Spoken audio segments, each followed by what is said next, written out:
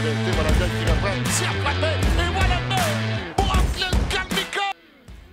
As for the, the training camp, uh, I'm really excited and uh, really happy from what I'm seeing uh, so far uh, with the return of our 12 veterans and obviously the, the 12 rookies that, that, made our team this year. I'm really, I'm really proud of them.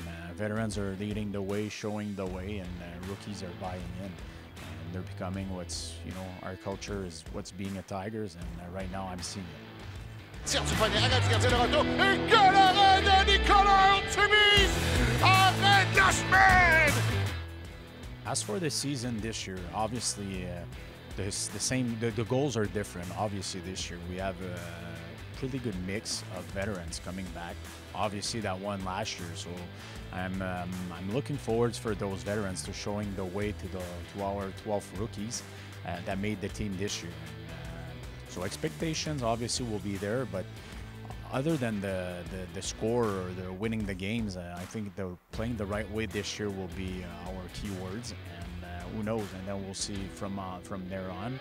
Uh, but uh, obviously, this season we're looking for a team that will compete every night and battle hard. And players play with a lot of pride.